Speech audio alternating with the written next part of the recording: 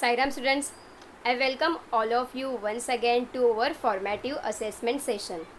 Last month you have already submitted formative assessment and project and activity. Am I right?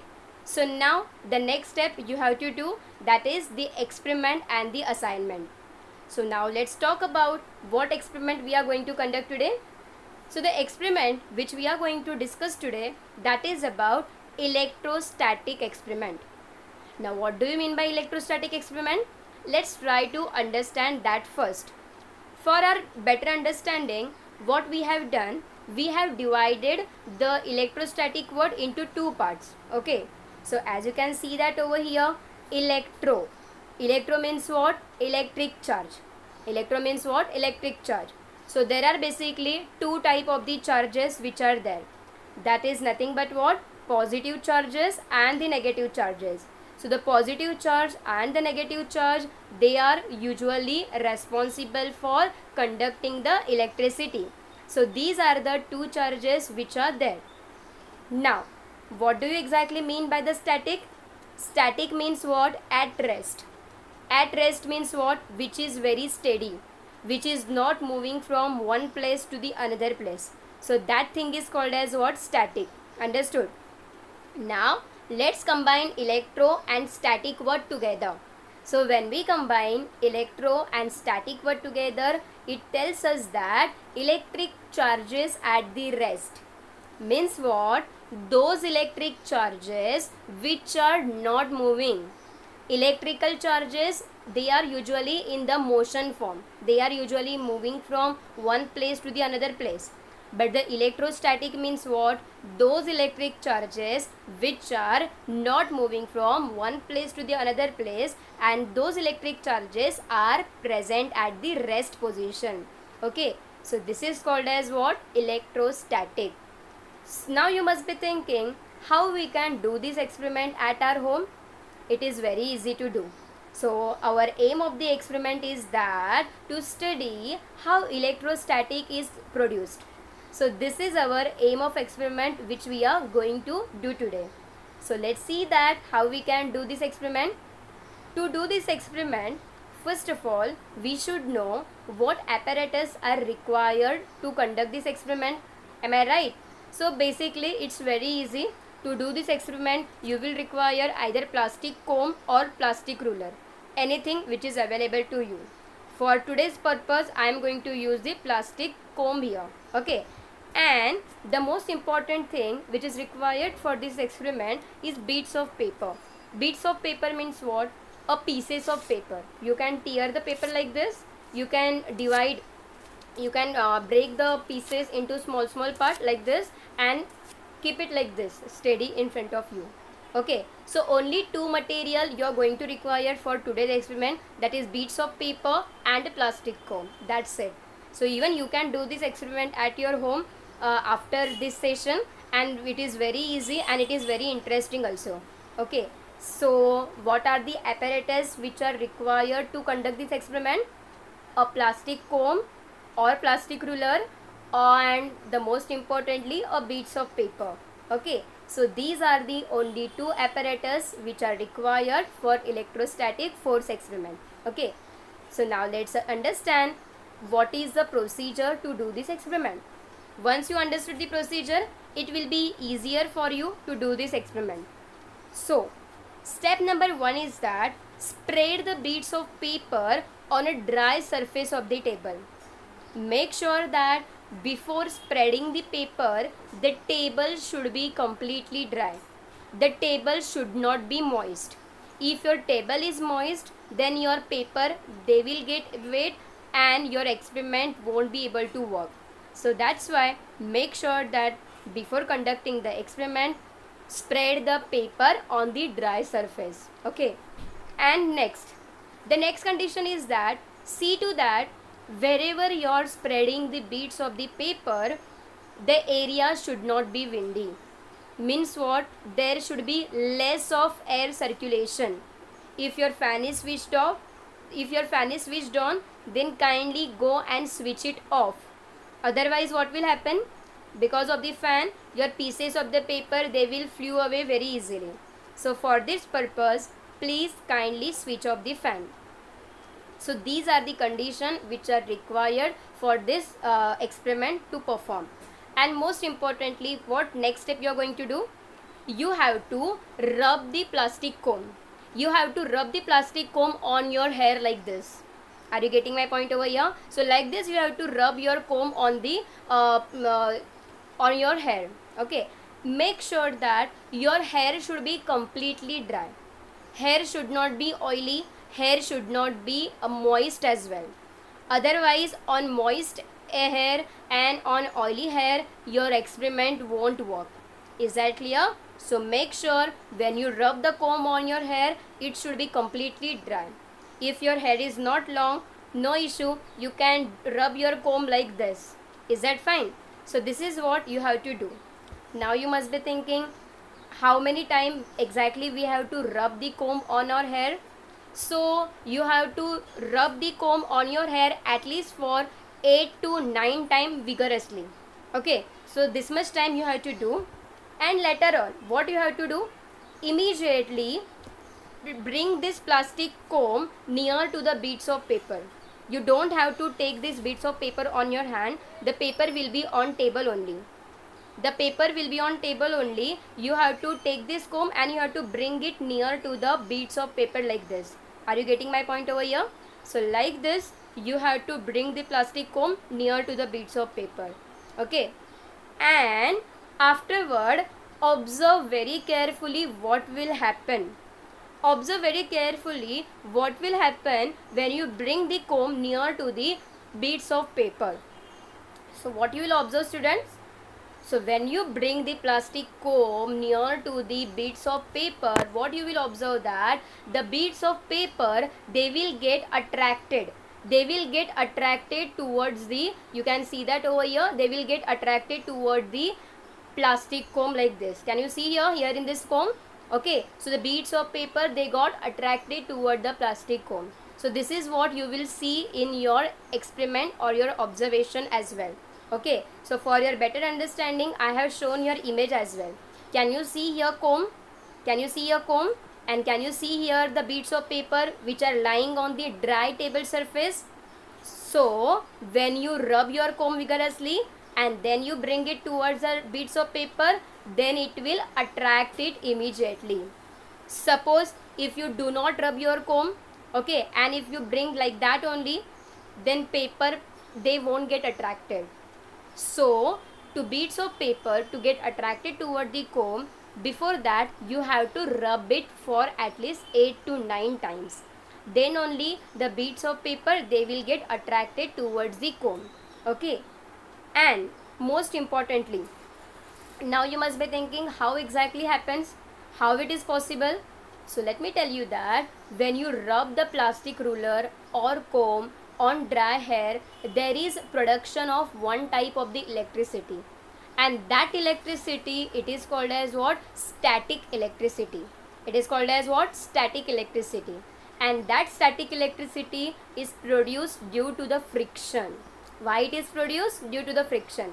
Friction means what like the force between the two opposite surface. Like when you rub the comb on your hair so there will be certain kind of the friction. So due to the friction a static electricity is produced on hair as well as on the comb as well. So as you can see that over here when you rub the plastic comb on your hair positive charge is developed on the hair. Positive charge is developed on the hair and negative charge is developed on the comb. A comb acquires negative charge and hair acquires the positive charge. And as you know that opposite charges attract each other, positive and negative charges they attract each other. Are you getting my point over here? So here in this case, because of the production of static electricity, a comb gets attracted toward the beads of paper very immediately just due to the production of what? Static electricity. Understood student? Why exactly the beads of paper got attracted towards the uh, comb here? Because the reason is that a plastic comb or plastic ruler they exert a force. They exert force on the beads of paper and due to the electrostatic force which is developed on the comb the paper gets attracted very immediately. Okay? So here you can see that the force which is exerted on the electric charged material it is called as what? Electrostatic force. So please kindly note down this definition. What do you exactly mean by the electrostatic force? So repeat the definition after me. The force exerted on electric charge material is called as what? Electrostatic force okay? And most importantly this electrostatic force attracts the beads of the paper. So who is responsible for attraction of beads of paper? Electrostatic force okay? So this is what experiment we have done today. I hope so student you must have understood the experiment okay and see the diagram very carefully. After watching this session you have to note down aim apparatus diagram conclusion everything on your project paper. Okay? You have to submit it as well. And before submission write your name sid number standard on the project paper as well. And then do the submission just to reduce the confusion. Is that clear so see this diagram very carefully and this diagram only you have to draw in your project paper. See to that. I don't want different diagram. I want only this diagram in your project. Okay? Now what is the conclusion? What is the conclusion of this experiment? The conclusion of this experiment is that a beads of paper get attracted to the plastic comb due to the static electricity. What is the conclusion Beads of paper get attracted to the plastic comb due to the static electricity. So this is our conclusion of electrostatic experiment. So I hope so students you must have understood and you must have enjoyed the electrostatic experiment as well. So what you have to do? You have to write the questions which I have displayed in front of you and I want the answer of this question from you. Okay, so this is what I am expecting from you so these are the question. There are total six questions which i have given in front of you. Note down all this question in your notebook okay? And you have to write all these questions answer. And answer of these questions are in the previous session. Like just now i explained everything okay? Just in my explanation all the answers are there. So see this video very carefully so that you will get all the answer very immediately okay so what is the first question? Name the materials required in this experiment. Okay. So write, copy the question and copy answer as well. You have to write that by yourself. What is the second question? What is electrostatic force? You have to write the definition of electrostatic force. Third question. What happens when a plastic comb is held near the beads of paper? So this is what you have to write the answer. So go back to this video so that you will get the answer. Okay? And what is the fourth question? Where should we spread the beads of paper? Again you will get this answer in this video as well. Fifth question. For performing this experiment what can be used instead of the plastic comb? Here in this experiment i use the plastic comb right so instead of plastic comb, if it is not available, what you can use, you have to write that. What is the sixth question? What happens when we rub the plastic scale on the dry hair? So this also you have to write down. So students carefully note down all the six questions and write the answers as well. Okay. And for submission purpose, there are total 10 marks for your experiment so total 10 marks you will get only when you will follow the following things. You have to write your aim on the paper. Aim I have already given in this video. So watch this video very carefully and from this video only write down aim. Okay. Then you have to write the apparatus. You have to write the procedure. You have to draw the diagram and you have to label it as well and diagram should be with the pencil only. Again you have to write the observation and you have to write the conclusion. Okay? And most importantly last but not least you have to write down total six question which i have given you just now along with the answer. And before submission as i told you on paper name sid number everything should be there. Okay? And then only you will do the submission. So i hope so students you must have understood what do you exactly mean by the electrostatic force now we shall discuss about the assignment part. So even this assignment is there for total 10 marks. So what assignment we are going to assign you today? So the assignment which you have to do that is draw neat and label diagram of types of bones. So types of bones you have to just draw the diagram that's it. Okay? So what are the types of the bones? So you all know that basically type bones are divided into four types.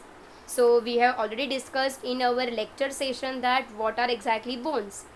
Bones are the strong material bones are the cells which are present in our body who are providing support to our body. Bones are giving shape to our body.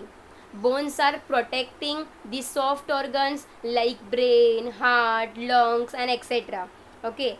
And there are total 206 bones which are present in the adult human being and total 300 bones are present in the small child so depending upon the shape of the bone, we have classified the bones into total four parts. Okay. So these diagrams you have to draw. Only diagram you have to draw. Don't worry. Okay. So the first type of the bone is that flat bone. So the name itself says that it is a flat bone. Means what? The shape of this bone is completely flat. So this bone it is present in the chest part. It is present in the middle of the chest which is called as a sternum okay? And this is present in the shoulder region okay? So these are the flat bone which are present in our body. So you have to draw this diagram and you have to label it as well. And the second type of the bone is that what? Small bones the small bone it is present in our hand and in our leg also. The bones which are smaller in size we call them as what? Small bones. So when many small bones combine together they form our hand structure. Okay? And the third type of the bone is that what? Irregular bone. Irregular bone means what? The bone which is doesn't have any type of the particular shape. So this type of the bone it is present in our waist region in our west region this bone is present. And this bone it is present in our backbone our vertebral column. Okay? So our vertebral column our back it is completely made up of this type of the irregular bone which is which doesn't have particular shape. And the fourth type of the bone is the long bone. Long bone means what? The name itself says that a bone which has the long size. Okay? So long bones where they are present in our hand and in our leg. So these four diagrams you have to draw on your drawing paper. Draw it very carefully. Draw neat and label diagram uh, and uh, on drawing paper only write your name SID number division roll number etc and then send it. Where you will send it guys? You will uh, send it this experiment particularly on only 14th September on 14th September I want uh, experiment and assignment please do not send project uh, experiment and the assignment before 14th September I want submission only on 14 September, not before that. If you send before 14 September, then your experiment and assignment will not be assessed because there are many submission you have to do. So if you submit everything together, so it will create a lot of confusion. So see to that you will submit it on 14 September. Is that clear? And where you will send it, uh, we have provided you the new link. Am I right? So for uh, A division, B division, C division and D division, there are different links which we have already provided. So on this link, you have to upload your experiment and you have to upload your uh, assignment as well. Okay. So this is the experiment and uh, assignment which you have to do and you have to submit only on 14th September. Okay. So I hope so. I am clear with experiment part and the assignment part. So we will stop here wish you all the best for your experiment and the assignment